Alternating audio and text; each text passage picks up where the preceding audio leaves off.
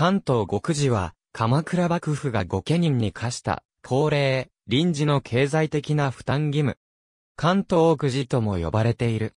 御家人役から各種の軍役を除いたものを指す。不可、納め銭の統括は、万所が言った。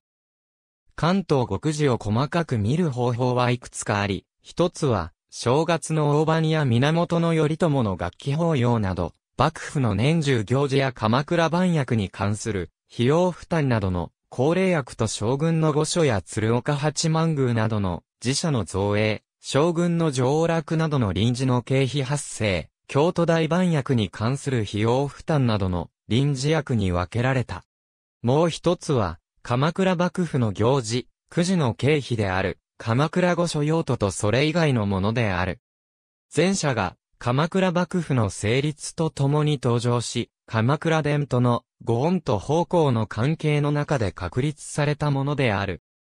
これに対して、その他にあたるものは、かつては、朝廷が区役として言ってきたもの、あるいは行うべきものであったものが、朝廷財政の衰退と幕府の全国支配の確立とともに、朝廷から幕府に対する区役として、負担を求められ、それを武家役として御家人たちに付加したものであった。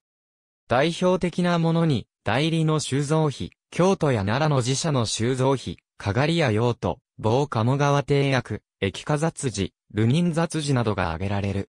こうした関東極寺の仕組みが完成したのは、上級の乱が終わった後の上映、還元期と言われている。関東極寺は全国あるいは特定の地域を領する、御家人を単位として付加されたが、その方法として御家人領内にあるくじ殿の数に応じて課された。幕府は、くじ殿を正確に把握するために、大田文を作成させた。軍役と違って、守護の最速権は存在せず、それぞれの一族の総領が、諸子の分までまとめて納入し、後に総領が諸子より、負担額を回収した。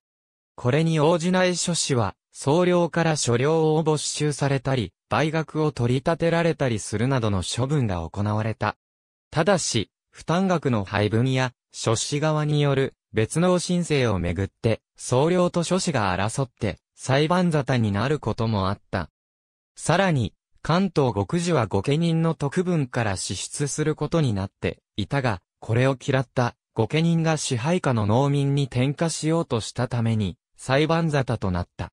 幕府は、こうした訴訟を防ぐために、農民への転嫁の禁止などの法令を出したが、あまり効果はなかった。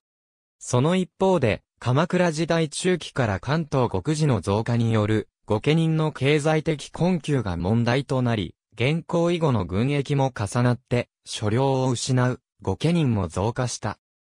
御家人量の減少は、各種御家人役の財源の縮小と所領を持つ、御家人に対する負荷の増大につながったために、御家人量の流出や減少を防止する政策が取られた。